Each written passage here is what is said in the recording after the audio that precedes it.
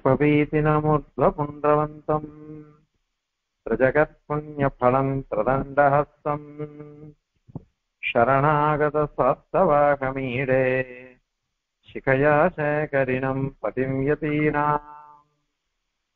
അസ്മദ്ഗുരുപരമ്പരായ നമ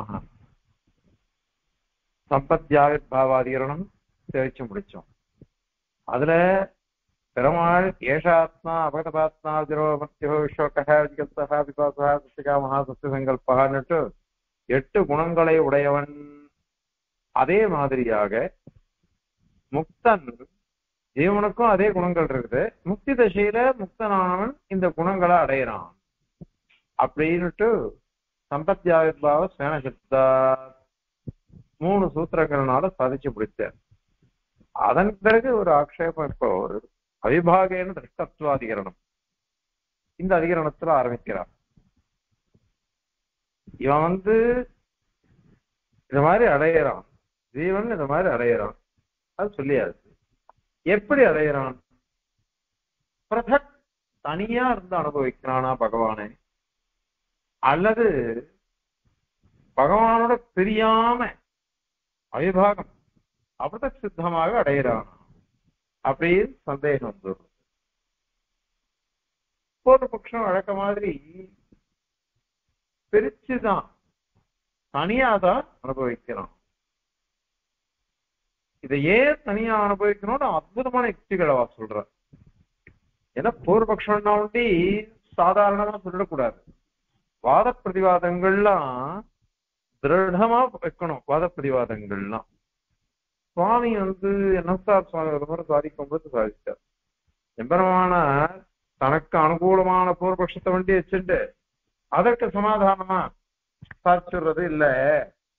அதிலே சொல்ல முடியாதபடி ரொம்ப யுக்திகள்லாம் நிறைய போட்டுட்டு அதன் பிறகு கண்டனம் பண்ணுவார்.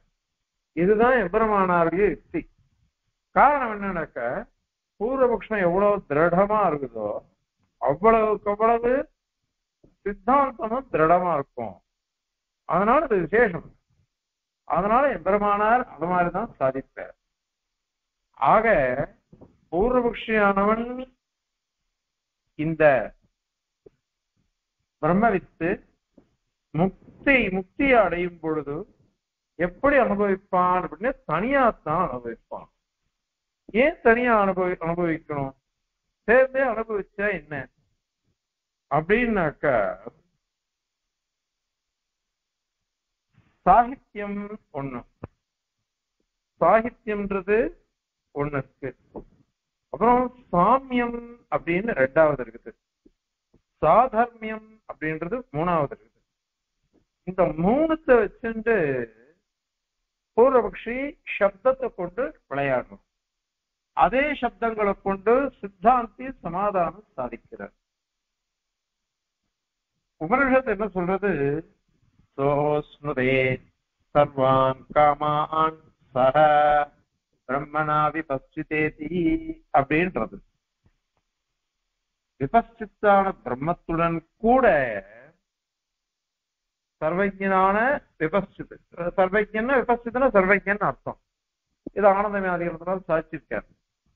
சர்வஜனான எம்பெருமான் அந்த பிரம்மத்தோட கூட எல்லா கல்யாண குணங்களையும் அனுபவிக்கிறான். சர்வான் காமான். சக பிரம்மணா விபசித அப்படின்னு இருக்கு அனைத்து காமங்கள் திருக்கல்யாண குணங்கள் அவையென ஒரு பிரம்மவித்துக்கு பகவானுடைய குணங்கள் தான் பிடிக்குமே தவிர்த்து அல்பமான விஷயங்கள்லாம் பிடிக்காதோ இல்லையோ. அதனால அந்த பிரம்மத்தோட சேர்ந்துட்டு கல்யாண குணங்களை அனுபவிக்கிறான் அப்படின்னு வாக்கியம். இது என்னது இது? சாகித்யம்னு இதுக்கு பேர். சக சகயோகம். சேர்ந்து இருக்கிறதுன்றது எப்போ வரும் தெரியுமா நானும் என் நண்பனும் பண்ணா போகணும் அகம் அவன் மித்திரையில சக கதவான். என்னுடைய நண்பனோடு கூட நான் போனேன் அப்படின்னாக்கா நாங்க ரெண்டு பேரும் பிரிக்க முடியாதவாள.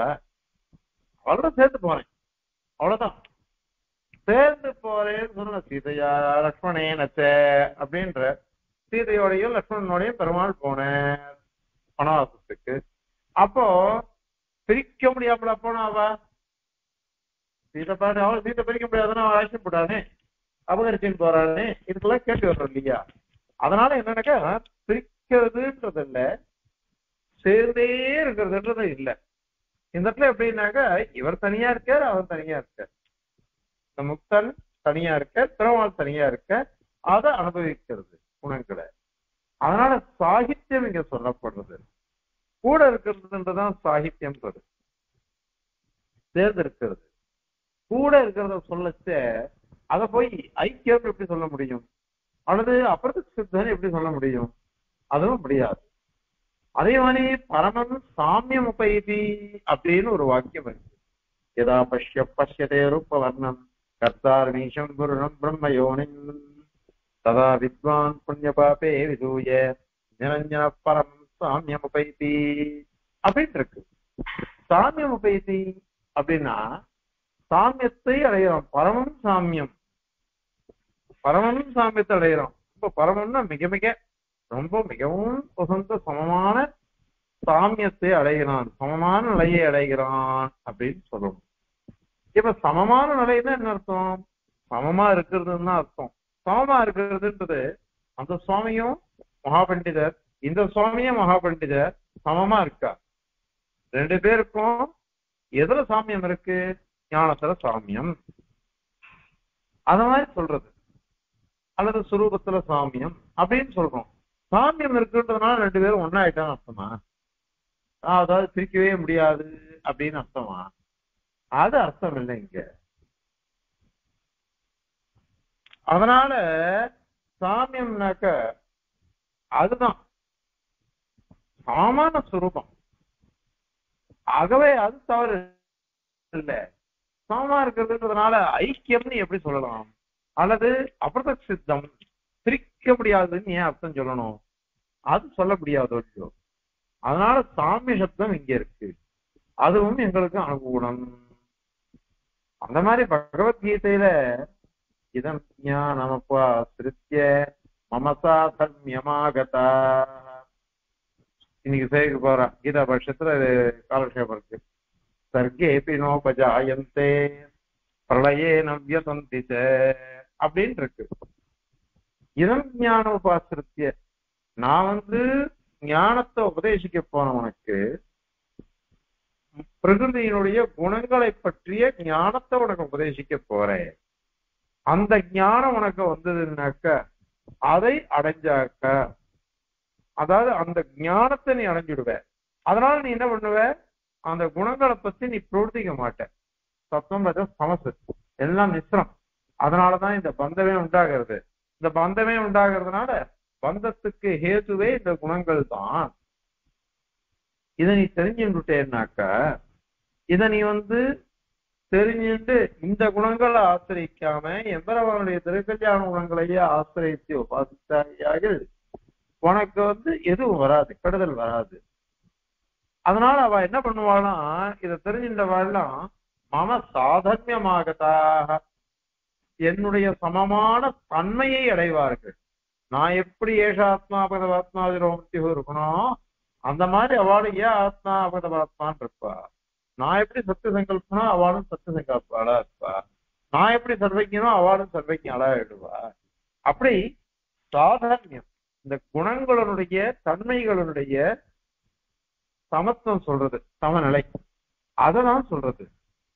இப்போ இது வந்து அபத்த சித்தம் எங்க வந்தது இங்க? அது இல்லையே. அப்படி இந்த மாதிரி அடைந்தவர்கள் பகவானுடைய சாதர்மத்தை அடைந்தவர்கள் சர்க்கே எப்பி நோபஜாயந்தே. சிருஷ்டி காலத்துல அவ பிறக்க மாட்டா. அந்த மாதிரி பிரளயனம் வியசந்திச்சு பிரளயத்துல வியசந்தினா கஷ்டப்படுறதுன்னு அர்த்தம். கஷ்டப்படுறதுன்னு நீங்க சொல்லக்கூடாதுன்னுட்டு சாஸ்திரி சிந்திக்க பாஷ்யத்திலாம் ஏன் அப்படின்னாக்கா என்ன உபஜாயது பிறப்பதில்லை அப்படின்னு சொன்னா இறப்பதில்லைன்னு சொல்லணும். அதாவது சிருஷ்டிக்கும் விஷயமாக மாட்டா. சம்ஹாரத்துக்கும் விஷயமாக மாட்டா அப்படின்னு அர்த்தம். அதனால நான் வியசந்திச்சேன் அவ கஷ்டப்பட மாட்டான்னு அர்த்தம். இப்படி ஸ்ருதியோ ஸ்மிருதியோ இத மாதிரி சொல்றது. இதனால சாகித்யம் இருக்கு சாமியம் இருக்கு சாதர்மியம் இருக்கு. இந்த மூணு தான் இருக்கு. இந்த மூணுமே தனியா இருந்துட்டே கூட அனுபவிக்கலாமே. சேர்ந்தே அனுபவிக்கணுன்றது கிடையாது. அப்படின்னு சொல்லிட்டு பூர்வபக்ஷி அதனால தனித்தனியா இருந்துதான் அனுபவிக்கிறோம் அனுபவிக்கிறான். பெருமாளோட சேர்ந்து அனுபவிக்கிற அப்படின்னு பூர்வபக்ஷனுடைய அபிப்பிராயமாக இருக்கு அதற்கு சித்தாந்தம் அது தப்பு. ஏன்னா இந்த மாதிரி எங்கேயுமே கிடையாது. ஏன் அப்படின்னாக்கா தீவன் இருக்கணும் இல்லையோ அவன் பெருமாளுக்கு என்னவா இருக்கான்னாக்கா சரீரமா இருக்கான். நாங்க வந்து இந்த சாதர்மியம் சாகித்யம் சாமியம் அதையும் நாங்க ஒத்துக்கிறோம். அதே மாதிரி சரீராத்ம பாவத்தையும் ஒத்துக்கிறோம். ஏன் இந்த மாதிரி ஒத்துக்கணும்னாக்க ஸ்ருதி ரெண்டுத்தையும் சொல்லிடுத்து. ஸ்ருதியானது ரெண்டுத்தையும் சொல்றது. சாமிய சாதர்மிய சாகித்யங்கள் எப்படியோ அந்த மாதிரியாக இந்த சரீராத்ம பாவத்தையும் நமக்கு ஸ்ருதி சொல்லி கொடுக்கிறது. இத சொல்லி கொடுக்கறதுனால அவன் சரீரமா தான் இருப்பான் ஜீவன். பகவான் சர்வ சரீரியாகத்தான் இருப்பான். அதனால மோட்சத்தை அடையறவன் என்ன பண்ணுவான்னாக்க தன்னுடைய உண்மை நிலை என்னது? அப்படின்னா சரீரமாயிருத்தல் அப்படிங்கிறது தான் இவனுடைய யாதாத்ய ஸ்திதி யதாவத் ஸ்திதி எப்பொழுதும் இவனுடைய உண்மையா இருக்கிற நிலை என்னன்னா பெருமாளுக்கு சரீர உடம்பா இருக்கிறதுன்றதுதான் சரீரமா இருக்கிறது தான் அதை இவன் தெரிஞ்சுட்டு இருக்கானோ இல்லையோ? அப்ப தெரிஞ்சுட்டா எப்படி இருப்பான்? பெருமாளோட சேர்ந்துதான் இருப்பான். பிரிக்க முடியாம தான் இருப்பான் இப்படி பிரிக்க முடியாம இருக்கிறதுனால அனுபவிக்க சேவை அந்த மாதிரிதான் அனுபவிப்பான். இது வந்து சரீரம் ஆ பிரியாம இருக்கான். ஆனால் அந்த பிரம்மத்தினுடைய அனுபவம் பிரம்ம எப்படி கல்யாண அனுபவிக்கிறதோ அது மாதிரி இவன் அனுபவிக்கிறான். இதுல முரண்பாடே கிடையாது. ஏன்னா பிரம்மத்தோட கூட கல்யாண குணங்களை அனுபவிக்கிறான் அப்படின்னு சொல்றது. அப்ப பிரம்மத்தோட கூட இருக்கிறான்னு அர்த்தம் இல்லை. ஏன்னா இத வந்து இங்கேருந்து நம்ம போறதே அவன் அடையிறதுக்கு தானே போறோம். என்ன யுக்தி பாருங்க எப்பரமான யுக்தி? பிரம்ம பிராப்தி தானே மோட்சம். பிரம்மத்தை அடைஞ்சுட்டான். பிரம்மத்தை அடைஞ்சுட்டாக்க பிரம்ம பிராப்தின்றது மோட்சம் சித்திக்கிறது. அதை சொல்லணுமான்னா ஸ்ருதி? சக பிரம்மனாதி பக்தி தேதி அப்படின்னு சொல்ல வேண்டாமே. பிரம்மத்தோட சேர்ந்து இருக்கான் அப்படின்னு சொல்றதுல என்ன பிரயோஜனம் இருக்கு? சுவாரஸ்யமே இல்ல அதுல. அதுல சுவாரஸ்யம் கிடையாது. பிரம்மத்தோட சேர்ந்து இருக்கிறதுன்றது அதான் நடக்க போறது. மோக்ஷம்னாலே அதானே. பிரம்மத்தோட சேர்ந்து இருக்கிறது தான் மோக்ஷம். அப்படிங்கிறது ஸ்பஷ்டமா வேதம் எதிர்த்து அந்த இது பிரம்மவிதா ஆப்னோதி பரம் அப்படின்னு சொல்றது. பிரம்மத்தை அடையிறது. பிரமாணம் சொல்ற என்ன என்ன அடையிறாய் எல்லாம் மாமுபேத்திய புனர்ஜன்ம துக்காலயம் சாஸ்வதம். நாப்னமந்திமா ஆத்மான சந்தித்தி பரமாங்கதா பிரமாணம் உபதேசிக்கிறார் மாமுபேத்திய எண்ணெய் அடைந்தவர்கள் திருப்பி சம்சாரத்தை அடைய மாட்டார்கள். அதனால அவன் அடைஞ்சிருந்தான் மோட்சம்னுட்டு ஸ்பஷ்டமா இருக்கு. பகவான் அடையிறதுதான் மோட்சம்ன்றது எல்லாருக்கும் தெரிஞ்சிருக்குது. இத திருப்பி சக பிரம்மணா அப்படின்னு சொல்லி சொல்றதுன்னு சொன்னாக்க என்ன பிரயோஜனம்? அதனால இந்த இடத்துல சாகித்யம் அப்படின்னு என்னது அது அப்படின்னா ரெண்டு விதமான சாகித்யம் இருக்கு. போக்திரு சாகித்யம் போக்ய சாகித்யம். தேசியம் சாராவையில ஆச்சரியமா சாதிட்டு போயிட்டார். மந்திரோக்தம் போக்திருபாதே எதி சக பவனம் பிரம்மணஸ்யாத் பிரதானம். தஸ்மாத் போக்யபாவே பவது பதுஜிதம் அப்படின்னுட்டு அதிகரண சாராவில் சுவாமி சாதிக்கிறார். இந்த மந்திரவர்ணம் இருக்குதே சோஸ்மிரே சர்வான் காமான் சக பிரம்மணான்ற கோத்ரு வர்க்கம் கோத்ரு சாகித்யம். போக்திரு சாகித்யம்னா என்ன அர்த்தம்? யாரோட சாட்டேன் அப்படின்னு ஒரு பையனை கேட்டார். அப்பாவோட சேர்ந்து சாப்பிட்டேன் அப்பாவோட சேர்ந்து சாப்பிட்டேன்னு சொன்னா அங்க போக்திரு சாக சாகித்ய சாகித்யம்னு அர்த்தம். போக்து சாகச்சரியம் போக்திரு சாகித்யம். என்னோட சேர்த்து சாப்பிட்டார் அப்பா. அப்பா அவனோட ஒன்னா சேர்ந்து சாப்பிட்டோம். அப்படின்னா அது போக்திரு சாகச்சரியம். போக்தாவும் இவனும் சேர்த்து சாப்பிடுறா அப்படின்னு போக்கிய சாகச்சரியம் என்ன சாப்பிட்டேன் தயிர் சாதம் சாப்பிட்டேன். தயிர் சாதம் எப்படி சாப்பிட்டேன் அற்புதமா ஆவக்காய் ஊறுகாய் சாய்ச்சா அதை ஊறுகாய் சுட்டு சாப்பிட்டேன். இப்போ ஆவக்காய் ஊறுகாயும் சாப்பிடுறான் தயிர் சாதத்தையும் சாப்பிடுறான். அப்ப அவன் என்ன சொன்னா ஊறுகாவோட சேர்த்து தயிர் சாதத்தை சாப்பிட்டேன் அப்படின்னு சொல்றோம் இதுக்கு பேரு போக்கிய சாகச்சரியம் அப்படின்னு பேர். இப்ப போக்திரு சாகச்சரியம் சொன்னா என்ன தோஷம்? போக்கிய சாகச்சரியம் சொன்னா என்ன குணம்? அப்படின்னாக்க போக்திரு சாகச்சரியம் சொன்னோம்னு வச்சுக்கோங்க. எது பிரதானமோ அது அப்பிரதானமா மாறும் நான் பிரம்மத்தோட சேர்ந்து கல்யாண குணங்களை அனுபவிக்கிறேன். அப்பாவோட சேர்ந்து நான் சாப்பிடுறேன் அப்படின்னு சொன்னாக்க அப்பாவோட கூட சாப்பிடுறேன். அப்பாவோட கூட சாப்பிடுறதுனாக்க அப்பான்றவர் சாதாரணமா ஆயிட்டார் கொள்ளதான் இங்க பிரதானமா ஆயிடுறோம் அதனால அப்பா கூட சாப்பிடுறேன் அப்படின்னு சொன்னாக்க அது அப்பாவுக்கு அப்பிராதானியத்தை கொடுத்துரும். இங்க பெருமாளோட சேர்ந்து நான் குணக்களை அனுபவிக்கிறேன் அப்படின்னு சொன்னாக்க நானும் அனுபவிக்கிறேன் பெருமாள் அனுபவிக்கிறேன் நான் தான் பிரதானமா அனுபவிக்கிறேன். பெருமாள் கூட அனுபவிக்கிறேன் அப்போ பிரம்மத்துக்கு அப்ராதானியம் வந்துடும் இவன் தான் முக்கியமான போக்தா. பெருமான் பாவம் அனாதியா ஆனந்த கல்யாண குணங்களை அனுபவிச்சுட்டு இருக்கான் அவன். தன் குணங்களையே தானே அனுபவிக்கிறான்.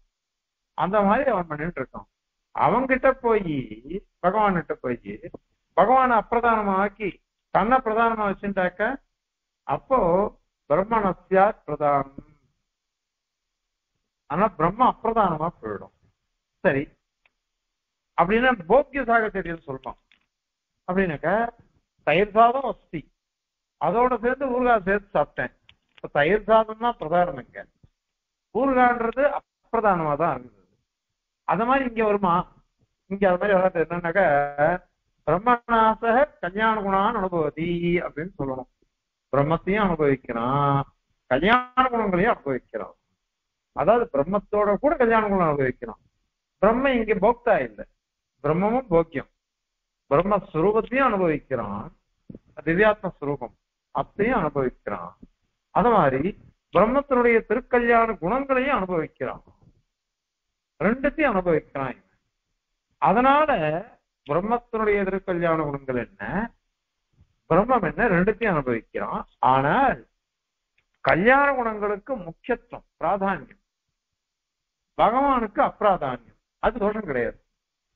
அது தோஷம் கிடையாது. ஏன் அப்படின்னா திவ்யாத்ம சுரூபத்தை முதல்ல நம்ம தெரிஞ்சுக்கிறது இல்லை. திருக்கல்யாண குணங்களை தான் முதல்ல தெரிஞ்சுக்கணும்.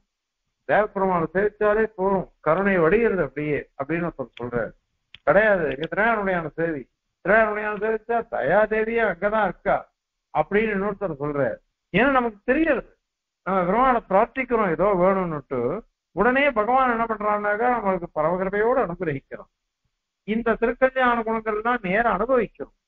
அதன் பிறகு உபாசனம் பண்ணினாத்தான் அங்க அடையத்தே தான் பெருமாளுடைய திவ்யாத்ம சுரூபத்தை நம்ம தெரிஞ்சுக்கிறோம் அனுபவிப்போம். அதெல்லாம் காட்டிலும் திருக்கல்யாண குணங்களோட பெருமாளை அனுபவிக்கிறான்னு சொல்றதை காட்டிலும் பெருமாளோட திருக்கல்யாண குணங்கள் அனுபவிக்கிறான்னு சொன்னாக்க அதுக்கு தனி ஏற்றம். என்ன ஏற்றம்னா நம்ம சித்தாந்தம் விசிஷ்டாத்வைத சித்தாந்தம். உன் திருக்கல்யாண குணங்கள் தான் பிரதானம் நமக்கு. அத்வைதிகள் மாதிரி நிர்குண பிரம்மவாதம் இல்லை. நம்ம சகுண பிரம்மவாதம் சொல்லிட்டு இருக்கோம். சகுண பிரம்மவாதம் சொல்றதுனால இங்க இருக்கிறதெல்லாம் என்னது அப்படின்னாக்கா திருக்கல்யாண குணங்கள் முக்கியம். அவைகளை சொல்றதுதான் ஏற்றம் இது. அதனால இந்த திருக்கல்யாண குணங்களை இவன் அனுபவிக்கிறான். அப்போ பிரம்மஸ்வரூபத்தையும் அனுபவிக்கிறான். பிரம்ம திவ்யாத்ம சுரூபத்தையும் அனுபவிச்சுட்டு திருக்கல்யாண குணங்களை அனுபவிக்கிறான் அந்தமா அப்படின்னு சொல்றது.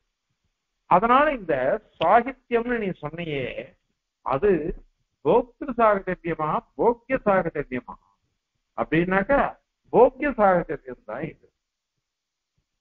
அதனால பிரம்மத்தையும் அனுபவிக்கிறான் திருக்கல்யாணமும் அனுபவிக்கிறான். அதை சொல்றதுக்கு தான் இங்க வந்தது. நீ சொல்ற மாதிரி சேர்ந்து இருக்கிறதுக்கு அனுபவிக்க வரல. சேர்ந்து அனுபவிக்கிறான். பிரம்மமும் அனுபவிக்கிறது ஜி முக்தன் அனுபவிக்கிறான். அப்படின்னு அர்த்தம் சொல்ல வரல. அப்படி சொன்னாக்க நீ வேணா சாகித்யம்னு சொல்லி.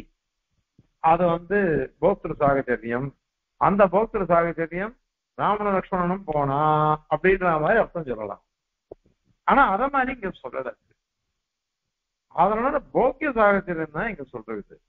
அது பிரம்மத்தை பிரியாம பிரம்மத்தை பிரியாம பிரம்மத்தினுடைய திருக்கல்யாண குணங்களையும் பிரம்மத்தினுடைய திவ்யாத்ம சுரூபத்தையும் ஒன்னா இவன் சேர்ந்து அனுபவிக்கிறான் அப்படின்னு சொன்னா அதுக்கு ஏற்றம் அதிகம். அதே மாதிரிதான் சாதர்மியம். பகவானோட சேர்ந்துட்டான்னா என்ன அர்த்தம்? இவன் சுத்தன ஆயிட்டான். சுத்தன ஆயிட்டான்னாக்க பகவானுக்கு சரீரமா போயிட்டதுனால எம்பெருமானோட சேர்ந்தே இருக்கான். அவன் ஏஷ ஆத்மா அபகதபாத்மான் இருக்கான். இவன் ஏ ஆத்மா அபகதபாத்மான்னு இருக்கான். அதனால எட்டு குணங்களோட சேர்ந்துதான் இருக்கான். அதுதான் சாதர்மியம்.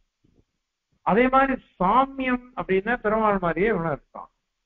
அவனுக்கு ஞானம் விகசிதமாயிடுத்து இவனுக்கு ஞானம் விகசிதமாயிடுத்து அதனால அவன் சேர்ந்து இருக்கான் அப்படி சேர்ந்து இருக்கான் சொல்றதுனால என்ன விரோதம் இருக்கு? இது நாங்க சொல்லல. ஸ்ருதியே சொல்றது. ஸ்ருதி என்னென்ன சரீராத்ம பாவத்தை வச்சுதான் ஸ்ருதியானது நமக்கு உபதேசம் பண்றது. தத்துவமசி அயமாத்மா பிரம்ம ஐததாத்மவிதம் சர்வம் சர்வம் கல்விதம் பிரம்ம. ஏ ஆத்மனிதிஷ்டன் இது தத்துவமசி அயமாத்மா பிரம்ம அப்படின்றதெல்லாம் ஐக்கியத்தை சொல்ற மாதிரி இருக்கு. நித்தியோனித்தனாம் சேதன சேதனானாம் அது மாதிரி வாக்கியங்கள்லாம் ஞாக்கியம் தாவஜோ அப்படின்ற வாக்கியங்கள்லாம் வேதத்தை சொல்ற மாதிரி இருக்கு. ஏன் ஆத்மனிதிஷ்டன் ஆத்மாந்தரகாயம் ஆத்மா நவேத அப்படின்னு அந்தரியாமி ஸ்ருதின்னு இதுக்கு பேரு. இந்த ஸ்ருதியோ இவ பெருமாளுக்கும் இந்த முக்தனுக்கும் ஜீவாத்மாவுக்கும் சரீராத்ம சொல்றது. இத வந்து ஏன் இந்த மாதிரி எல்லாம் சொல்லணும்னா அவஸ்த தேவத்துக்கு ஆசிரியஸ்னான்னுட்டு சூத்திரகாரரே சாச்சிட்டு போயிட்டார். வாக்கியான்மை அதிகரணத்துல முதல் அத்தியாயம் நாலாவது பாதம் ஆறாவது அதிகரணம் வாக்கியான்மை அதிகரணம் அங்க நாலாவது சூத்திரத்துல காசகிருஷ்ண மகரிஷி சாதிக்கிறார் இந்த மாதிரி. அவஸ்த தேவதி காசகிருஷ்ணனா? ஆத்மான்னு அங்க இருக்கு. ஏன் ஆத்மான்னு சொல்லணும்னாக்க பெருமாள் உள்ள உட்கார்ந்து நினைந்துள்ள இருக்க அந்தரியாமியாக அதனால ஆத்மா அப்படின்னு பொதுவா சொல்லிட்டு போயிட்டு யாக்கியவர்க்கர் மைத்ரேயி. அதனால தோஷம் இல்லை அப்படின்னு சொல்ல போறோம். அதனால பிரிஞ்சு இருக்கிறது இல்ல பிரிஞ்சு இல்லாம சேர்ந்து இருக்கிறது தான் அதனால ஸ்வரூபம் சாமியம் சொன்னாக்க இவனுடைய சுரூபமும் பெருமாளுடைய சுரூபமும் ஒரே மாதிரி. ரெண்டு பேருக்கும் நிரதிசயமான ஆனந்தம். அது சுரூபம். அந்த ஆனந்தத்தை சொல்றதுன்றதுதான் சுவாமி சப்தத்தினால. சாதாரண சப்தம்ன்றது அபகதபாத்மத்வாதிகள் எல்லாம் சேர்ந்திருக்கு. ஒரே மாதிரி இருக்குது. குணங்களை இட்டு ஒண்ணு சுரூபத்தை இட்டு சாமியம் குணங்களை இட்டு சாமியம். அதுக்கப்புறம் சாகித்யம்ங்கிறது போக்கிய சாக சாகதரியம் அனுபவிக்கிற போக்கியத்தை பத்தி சொல்றது அது. இப்படி சொல்றதுனால இதுல ஒரு தோஷமும் இல்லையே. ஒரு தோஷமும் இல்லை. அதனால இதை வந்து நீ பிரிச்சு இருக்கிறதுன்னு அர்த்தம் பண்ணிக்க வேண்டாம். இப்படி சொல்றதுனால பிரம்ம பிரகாரமா இருக்கான். பிரம்மத்துக்கு பிரகாரமா இவன் இருக்கான். பிரம்மம் பிரகாரியாக. இவன் விசேஷனம் அவன் விசேஷம் இவன் பிரகாரம் அவன் பிரகாரி. இவன் அம்சம் அவன் அம்சி இப்படி பாருங்கோ. இப்படி பார்க்கறதுனால எல்லாம் சரியா அமைஞ்சு போயிடும். அதனால அவிபாகேன திருஷ்டத்வாத். விபாகம் இல்ல அவிபாகம் தான் பிரிக்க முடியல. அந்த மாதிரி இருக்கிறது இது. அத மாதிரி இருக்கிறத பத்தி இங்க சொல்றதுனால எந்த ஒரு பூர்வபக்ஷிக்கு அனுகூலமான யுக்தியும் இங்க சொல்ல முடியாது. அதனால சாமியமோ சாதர்மியமோ சாகித்யமோ எல்லாமே எங்க சித்தாந்த அனுகுணமாதான் இருக்கு. அதுதான் சரி அப்படிங்கிறத இந்த அதிகரணத்தினால சாதிக்கிறது இப்போ தீப ஸ்ரீசுக்திய சேவிக்கலாம். அவிபாகேன ரக்தத்வாத் கிமயம் முக்தः ஆவிர்பூதஸ்வரூபः பிரத்யகாத்மா பரம் பிரம்ம ஸ்வாப்னோ விபக்தம் அனுபவதி. உத ஸ்வாப்னோபி ஆத்மதையா अविभागेन अहं ब्रह्मास्मि इति इति संशयः किमयं मुक्तः இந்த முக்தாத்மா இவன் ஆவிர்பூத ஸ்வரூபனா ஆயிடுறான் அப்படின்னு சொல்லிட்டோம் போன அதிகரணத்துல அது யாருன்னா பிரத்யேகாத்மா ஜீவன் முக்தன் இவன் பரம் பிரம்ம பரமாத்மாவை சுவாத்தனகா விபக்தம் அனுபவத்தி தன்னை காட்டிலும் வேறுபட்டவனாக அவன் வேறு இவன் வேறு. பிரிக்கப்பட்டவனாக அனுபவிக்கிறானா? பூத அல்லது சுவாத்தனோபி ஆத்மதையா தனக்கும் ஆத்மாவாக எம்பெருமான எழுந்துள்ளிருக்கிறான். நான் சரீரம் அவன் சரீரி. அப்படின்னுட்டு அனுபவிக்கிறான். அப்படின்னு ஆக்ஷேபம் சந்தேகம் வருது. அவிபாகேன. அவிபாகம் தான் என்ன வரும்? அகம் பிரம்மாஸ்மி அப்படின்னு வரும். அகம் பிரம்மாஸ்மின்னு என்ன அர்த்தம்? நான் பிரம்மமா இருக்கேன்னு சொல்லணும். அதுக்கு அர்த்தம் என்னன்னாக்க நான் பரமாத்மாவை ஷரீரியாக உடையவனாக இருக்கிறேன். நான் பரமாத்மாவை ஆத்மாவாக உடையவனாக இருக்கிறேன். என்னை சரீரமாக உடையவனாக எம்பெருமான் இருக்கிறான். அப்படின்னு அர்த்தம் பண்ணிக்கிறோம். அந்த மாதிரியா இது இது இது சந்தையா என்பதாக சந்தேகம் இங்க சொல்லப்பட்டது. அதுக்கு பூர்வபக்ஷி. நிரஞ்சனா பரமம் சாமியம் உபைதி நிரஞ்சனா பரமம் சாமியம் உபைத்தின்னு வாக்கியம் இருக்கு. தோஷமற்றவனாக எந்த ஒட்டுதலும் இல்லாமல் பரமசாமியத்தை அடைகிறான் அப்படின்னு இருக்கு. சாமியம்னா என்ன அர்த்தம்? சமமா இருக்கிறதுன்னு அர்த்தம். சமமா இருக்கிறதுனாக்க இவன் வேற அவன் வேறதான். ஆனா ரெண்டு பேரும் சமமா இருக்கா அப்படின்னு அர்த்தம் தான் படிக்கும். இத அகம் பிரம்மாசின்னு வராது அப்படின்னு முதல் யுக்தி. ரெண்டாவது சோஸ்ததே சர்வான் காமான் சஹ பிரம்மணா விபஸ்யதேதி அசுனதே என்ன? அனுபவிக்கிறான்னு அர்த்தம். சக சர்வான் காமான் பிரம்மணா சக அனுபவதி அஸ்மதே அப்படின்னு அர்த்தம். பிரம்மமான விபஸ்து சர்வஜன் சர்வஜனான சர்வஜமா இருக்கக்கூடிய பிரம்மத்துடன் கல்யாண குணங்களை அனுபவிக்கிறான் அப்படின்னுட்டு சாகித்யம் சொல்லப்படுறது. அதனால இது ரெண்டாவது. யுக்தி மூணாவது இதம் ஞானம் உபாசிரித்திய மமசா தர்மியமாகதா. இந்த ஞானத்தை அடைந்து அறிந்து மம சாதமியமாகத்தாக என்னுடைய தன்மையை அடைகிறவராக இருக்கிறார்களோ. முக்தாத்மாக்கள் தான் அப்படி இருக்கார். இது ஸ்ருதி ஸ்மிருதிபியா இவ்வாறு இருக்கக்கூடிய ஸ்ருதி வாக்கியங்கள் என்ன? ஸ்மிருதி வச்சனங்கள் என்ன?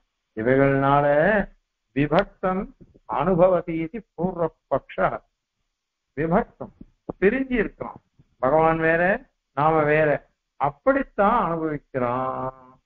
அப்படின்னு சொல்லிட்டு பூர்வபக்ஷனுடைய யுக்தி. ஏற்கனவே சொன்ன இல்லையோ? சாமியம் இருக்கு. சாகித்யம் இருக்கு சாதாரியம் இருக்கு. இந்த மூணு சொற்களுமே பிரிஞ்சு இருக்கிறது தான் சொல்லும் சேர்ந்து இருக்கிறது சொல்லாது. லோகத்திலையும் அப்படிதான் விவகாரம் இருக்கு சாகித்யமோ சாதமியமோ அத மாதிரி சாமியமோ எல்லாம் இது மாதிரி பிரிஞ்சு இருக்கிறவர்களுக்குள்ளதான் இருக்கே தவிர்த்து சேர்ந்து இருக்கிறவர்களுக்குள்ள இல்லை. அதனால இந்த மாதிரி பிரிஞ்சு அனுபவிக்கிறான். அப்படின்னு அர்த்தம் பண்ணிக்கணும். அப்படின்னு பூர்வபக்ஷம். சித்தாந்தஸ்து சித்தாந்தம் சாய்கிறார் நாங்க வந்து அதையும் ஒத்துக்கிறோம் இதையும் ஒத்துக்கிறோம். எதை ஒத்துக்கிறோம்? சர்வம் கல்விதம் பிரம்ம அப்படின்னு சொல்றோம். இதம். இதோ இப்ப பாக்குறவன் இந்த பிரபஞ்சம் இருக்கே பரிதர்சியமான ஜெகத்து சர்வம் பிரம்மகல் பிரம்மன் தானே. பிரம்மன் தானேன்றது. அதை சொல்லிட்டு ஒரு வாக்கியம் சொல்ல சொல்றது சஜ்ஜலான் சாந்த உபாசீத அப்படின்னு சொல்லிடுச்சு. சஜ்ஜலான் சஜ்ஜலான்னாக்க தஸ்மா ஜாயதை இது சஜ்ஜம். அந்த பிரம்மத்திலிருந்து உற்பத்தி ஆச்சு. அதனால சஜ்ஜம்னு பேரு. தள்ளம் தஸ்மின் லீயத்தை இது தள்ளம். அந்த பிரம்மத்திரத்திலேயே லயத்தை அடைகிறது என்பதனால் தள்ளம். தேன அன்னித்தீதி சதனம் அவனால் ரட்சிக்கப்படுகிறான் என்பதனால் சதனம். அதனால தஜ்ஜலான் அவனிடமிருந்து உற்பத்தி அவனிடமே லயம் அவன் அவனாலேயே ரட்சிக்கப்படுதல். யதோவா இமான் பூதா நிஜாயந்தே ஏதான் அதான் ஜீவந்தி எத்தகன் விசந்தி விஷந்தி சத்விஜாதன் பிரம்மலட்சணம்.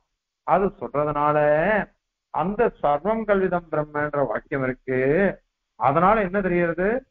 பிரிக்க முடியாம இருக்கு. எல்லாம் இந்த பிரபஞ்சம் தான் சாமானியம் பிரிக்க முடியாம இருந்தாலும் சாமானாதிகள் சொல்ல முடியும் நீ தான் நான் நான் தான் நீ அப்படின்னு சொன்னா என்ன அர்த்தம்? இதெல்லாம் உபச்சாரமான வார்த்தைகள் லோகத்துல.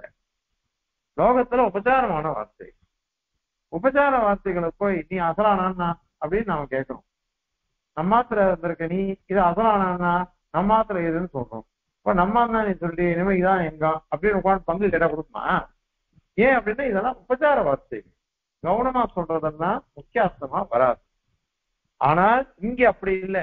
அனைத்தும் பிரம்மங்களும் பிரம்மணம் அல்லவா அப்படின்னு கேட்டாக்க இந்த இடத்துல சொல்லப்படுறது உபச்சார வார்த்தையே இல்லை. ஏன் அப்படின்னா ஐததாத்மவிதம் சர்வம் தத் சத்தியம் ச ஆத்மா தத்துவசி ஸ்வேதகேதோன்னுட்டு வாக்கியம். சத்வித்தியில உத்தாரகன் ஸ்வேதகேதுக்கு உபதேசிக்கிறார். அதனால ஐததாத்மவிதம் சர்வம் இதோ இந்த பிரம்மத்தை ஆத்மாவாக உடையது இந்த பிரபஞ்சம் அனைத்தும் அப்படின்னு அவர் உபதேசிக்கிறார்.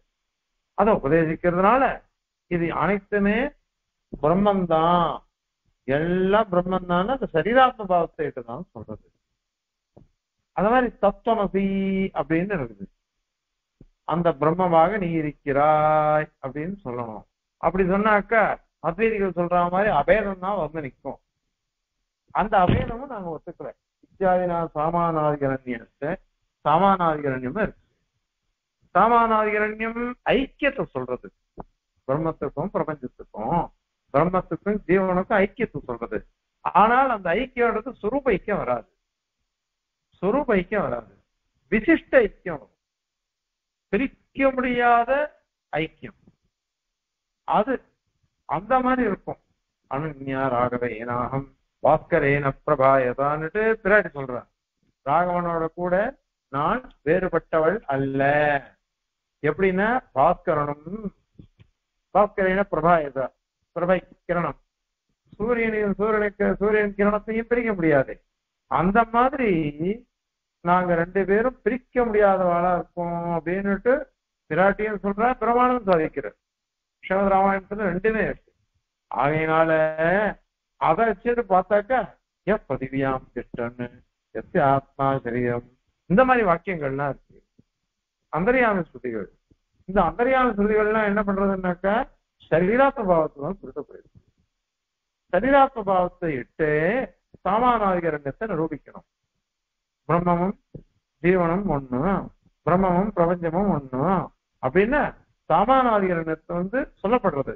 அந்த சாமானாதிகரண்யம்ன்றது ஒன்றா இருக்கிறது அப்படின்றது சரீராத்ம பாவத்தை இட்டுதான் அது வந்து அதனால இத்தியாதிஷு சர்வஸ்து சிதஜித் வஸ்துனா பிரம்ம சரீரஸ்வரூப பிரம்ம பிரகாரத்தையா அனைத்து சேதனாதேதன வஸ்துக்களுக்கும் பிரம்ம சரீரஸ்வரூப பிரம்ம பிரகாரத்தையா பிரம்மத்துக்கு சரீரமா இருத்தல் அப்படிங்கிறது இருக்குது அங்க.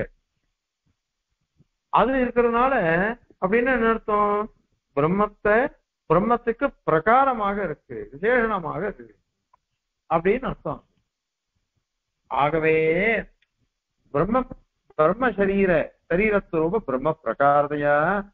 தத் வஸ்து புத்தி சப்தாக நீ நம்ம வந்து சொல்றோம் அயம் கடக அப்படின்னு சொன்னோம். அப்போ கடசப்த கடத்தை சொல்லக்கூடிய கட சப்தமானது அதுக்கு அந்தரியாமியான எம்பெருமான சொல்லணும்.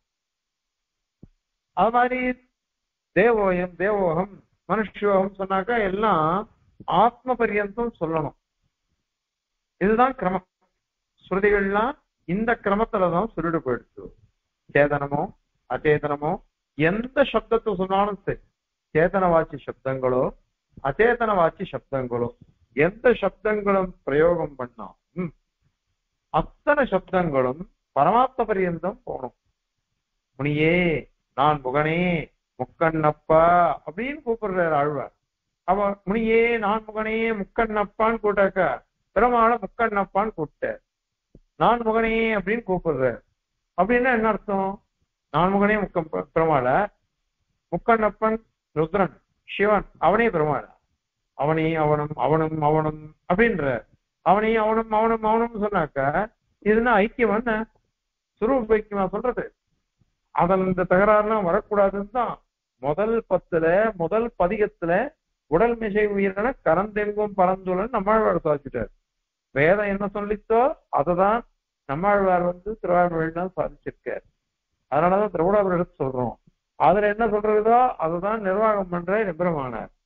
ஆகையினால அனைத்துமே பிரம்மவாச்சகமான சப்தங்கள். அதனால தத்தத் வஸ்து புத்தி சப்தா. அந்தந்த வஸ்துவை குறிக்கக்கூடிய ஞானத்தை உண்டு பண்ற சப்தங்கள் எல்லாமே தத்பரியந்த விஷயாக இது அவகமிய. அந்த பரமாத்ம பரியந்தம் அதை சொல்லணும். அப்படின்னுட்டு அறிந்து கொண்டு அதனாலதான் ஆத்மே உபகச்சந்தி கிராகயந்தி சே. முதல் அத்தியாயம் நாலாம் அத்தியாயம் முதல் பாதம். அதுல மூணாவது விகிரணம் ரெண்டாவது அதிகரணம் சமைக்கணும். ரெண்டாவது அதிகரணம். ஆவர்த்தி அசுரபதேசாரிங்காச்ச இது முதல் அதிகரணம் ஆவர்த்தி அதிகரணம். ரெண்டாவது ஆத்மத்துவ உபாசனா அதிகரணம். ஆத்மே உபகச்சந்தி கிராகயந்தி அப்படின்னு சாதிக்கிறார் அதுல எப்படி உபாசனம் பண்ணணும் தெரியுமா? ஆத்மேஜித உபகச்சந்தி பரமாத்மா நமக்கெல்லாம் ஆத்மாவாக இருக்கிறான் அப்படின்னு தான் அங்க உபாசனம் பண்ணணும். அத மாதிரிதான் கிராகயந்திச்ச பிராமணிகமா இருக்கிறவள்லாம் அதுதான் பிரமாணமா காமிக்கிறா அப்படின்னு சொல்லிட்டு அங்க விட்டுட்டார். அதனால இது நியாயேன. இது ஏன் சொல்லணும் அந்த மாதிரி? அப்படின்னாக்கா தற்கிருத நியாயம். இப்போ நான் பகவானுக்கு சரீரம் எனக்கு பகவான் ஷரீரி ஆத்மா. அப்படி நான் உபாசித்தாதான் முக்தி தசையில நான் அதை மாதிரி அனுபவிக்க முடியும். மோட்ச தசையில பெருமாளை பிரிக்காம பெருமாளை எனக்கு ஷரீரியா இருக்கான் ஆத்மாவாக இருக்கான் பகவான் அப்படின்னு நாம் அனுபவிப்போம். அது தஸ்கிருத நியாயம். இது நியாயேன. சுவாத்மனோபி. ஆத்மதையா தனக்கும் ஆத்மா பகவான் தான். அதனால என்ன பண்ணணும்? அகம் பிரம்மாஸ்மி இது உபாசனைன அந்த மாதிரி உபாசனை பண்ணணும். அப்படி உபாசனை பண்றதுனால எப்படி உபாசனை பண்ணணுமோ அப்படிதான் அடையணும் முக்கிய திசையில. அதனால உபாசனைன யதாவஸ்தித பரமாத்மாத்மக சுவாத்மனஹா. யதாவஸ்திதம். எப்படி இருக்கு? பரமாத்மா எனக்கு ஆத்மா. அவனை ஆத்மாக உடைய ஆத்மாவாக உடையவன் நான் அப்படின்னு இருக்குது அதனால யதாவஸ்தித பரமாத்மா ஆத்மக சுவாத்மனகம் பரமாத்மாவை ஆத்மாவாக உடைய தன்னுடைய சுரூபம். சுரூபத்தை திருஷ்டத்வாத். அதுதான் அங்க காணப்படுகிறது ஸ்ருதிகள்ல. ஸ்ருதிகள்ல காணி காணப்படுறதே இப்படிதான். ஆகையினால முக்தக சுவாத்தனோபி ஆத்மபூதம் பிரம்ம. தனக்கும் ஆத்மாவாக இருக்கக்கூடிய பிரம்மம். அதை அகம் பிரம்மாஸ்மி. நான் பிரம்மமாக இருக்கிறேன். அதாவது பிரம்மமே எனக்கு ஷரீரி. ஆத்மா அவனை ஆத்மாவாக உடையவனாக நான் இருக்கிறேன். அப்படின்னு தான் அனுபவிப்பான். நாலாம் அத்தியாயம் முதல் பாதத்துல ஆத்மேதுபகத்தி கிராகயந்தி அப்படின்ற இடத்துல அந்த மாதிரி உபாசிப்பான். பகவானை தனக்கு ஆத்மாவாக பிரிக்க முடியாதவனாக உபாசிப்பான் சாட்சியார். இங்க அந்த மாதிரி பகவானை தனக்கு ஆத்மாவாக அனுபவிப்பான். பிரிக்க முடியாதவனாக அனுபவிப்பான். உடம்பு சரீரம்னு சொல்லிட்டா பிரிக்க முடியாது. பிரிச்சுட்டாக்க உடம்பு போயிடுச்சுன்னு அர்த்தம். இப்ப ஆத்மா வந்து நிச்சயமா இருக்குது. பரமாத்மாவும் நிச்சயமா இருக்கான். ரெண்டு பேரும் ஒன்னா சேர்ந்து தான் இருக்கா அதனால அப்படிதான் அனுபவிக்கிறார். நீ என்ன கேட்ட? அங்க சாமியம் இருக்குது சாதர்மியம் இருக்கு சாகித்யம் இருக்குன்னு. சாகித்யத்துக்கு அர்த்தம் சொல்லிவிட்டோம். அது போக்கிய சாகித்யம் அனுபவிக்கிறதுலதான் போக்கியம். போக்கியத்துல ரெண்டுமே சேர்ந்துடுறது அதுல பரமாத்மா வந்து அப்பிரதானமா இருந்தா கூட தோஷம் இல்லை. ஏன்னா குணங்களுக்கு ஏற்றம். அதனால. அப்ப சாகித்யம் இது சாமியம் சாமியம்ன்றது என்ன அப்படின்னாக்க அது உங்க தத்துவமே தவறு. உங்க தத்துவமே தப்பு. ராமனும் லக்ஷ்மணன் சேர்ந்து போனா அப்படின்னு சொல்றீங்க. பகவான் மனுஷவதார் நானும் என்னுடைய நண்பனும் சேர்ந்து போறோம் அப்படின்னு சொல்றோம். அங்கேயும் எனக்கு என் நண்பன் ஆத்மா இல்லை. அவனுக்கு நான் ஆத்மா இல்லை. பரஸ்பரம் நாங்க சரீரமும் கிடையாது. ஆத்மாவும் இல்லை சரீரமும் கிடையாது. அதனால எங்களுக்குள்ள ரெண்டு பேரும் சேர்ந்து போறோம்னா சாமியம் இருக்கலாம். அது மாதிரி என்ன மாதிரியே அவனும் இருக்கலாம் அவன மாதிரியே நானும் இருக்கலாம். அதுல சாதாரணம் இருக்கலாம். ஆனா சரீராத்ம பாவம்ன்றது எங்களுக்குள்ள இல்லையே. எங்களுக்குள்ள சரீராத்ம பாவம் இல்லாததுனால நீங்க வந்து இந்த அபரத கேட்க முடியாது இந்த இடத்துல. நீங்க சொல்ற உதாரணத்தை கேட்க முடியாது. ஆனா ஸ்ருதியில அப்படி இல்லை. ஸ்ருதி வந்து சாமியம் சாதர்மியம் ரெண்டுத்தையும் சொல்லி கூடவே சரீராத்ம பாவத்தையும் அப்படிதான் உபாசிக்கணும் அப்படிதான் அனுபவிக்கணும் அப்படின்னு. அதனால எந்த விரோதமும் எங்க இதுல இல்லை அப்படின்னு இந்த அதிகரணத்தினுடைய தாத்பரியம். இப்போ சூத்ரார்த்தம் சாதிக்கிறார். சூத்ரார்த்தஸ்து அகம் பிரம்மாஸ்மி இது அவிபாகேனீவ பிரம்ம அனுபவத்தி புஸ்தக அகம் பிரம்மாஸ்மின்னுட்டு அவிபாகேன பிரிக்க முடியாம அவிபக்தமாகத்தான் பிரம்மத்தை அனுபவிக்கிறான் முக்தன். என்ன சுவாத்தனோபி ஆத்மதையா உபாசனேன. தன்னுடைய ஆத்மஸ்வரூபத்துக்கும் ஆத்மாவாகவே பிரமான் இருக்கான் அப்படின்னு உபாசிக்கிறதுனால யதாவஸ்தித பரமாத்மாத்மக ஸ்வரூபத்து திருஷ்டத்வா. இதுதான் சுரூபம் நமக்கு. எப்பொழுதுமே நமக்கு சேஷத்தமே சுரூபம் ஷரீரத்தும் தான் நமக்கு சுரூபம். அவன் ஷரீரியாக ஆத்மாவாக சேஷியாகவே இருப்பான் அப்படின்னு தெரிஞ்சுக்கிறது இருக்குது பாருங்க. அதுதான் இது சுரூபம்ன்றதே. அதனால யதாவஸ்தித பரமாத்மாத்மக சுரூபத்து திருஷ்டத்வா. அதுதான் வேதத்தெல்லாம் காணப்படுகிறது. அதனால இதான் கிரமம். அவிபாகியன தான் அனுபவம் சொல்லணும். சாதர்மிய ஸ்ருதிஸ்து சாதர்மியம் இருக்குதே அதுக்கு என்ன சொல்லுவ? அப்படின்னா பரமாத்ம சரீரபூதஸ்ய பிரத்யகாத்மன அவகதபாத்மத்வாதி குணைஹி சாதர்மியம் பிரதிபாதியது குணங்கள்னால சாதர்மியம் சொல்லப்பட்டது அவனும் எட்டு குணம் இவனுக்கும் எட்டு குணம். அவ்வளவுதான். அதை சொல்ல வந்தது அது. அதுக்கு வந்து பிரிஞ்சுதான் இருக்கணும்னு அவசியம் இல்லை. ரெண்டு பேரும் சேர்ந்து இருந்தா கூட இவனுடைய சுபாவம் இவங்கிட்ட போகாது. அவனுடைய சுபாவம் அவனை விட்டு போகாது. ரெண்டு சுப ரெண்டு பேர் சுபாவம் அவாவாளுக்கு வியவஸ்திதமா இருக்கும் அதனால அதை தோஷமாகவும் சொல்லவே முடியாது.